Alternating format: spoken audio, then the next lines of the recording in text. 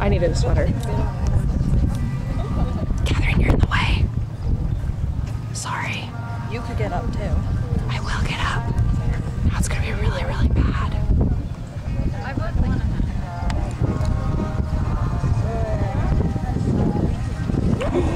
Jinx. Good job, Britt. Smack that guy.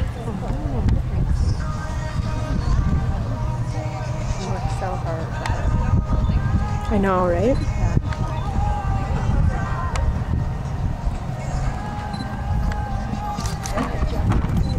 It's okay.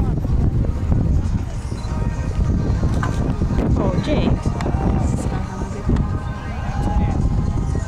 You got tired of the victory gallop. Yeah. I'm sorry. Oh, gee whiz, okay.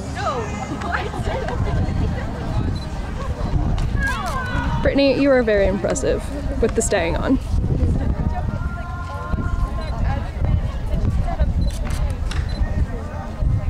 buddy.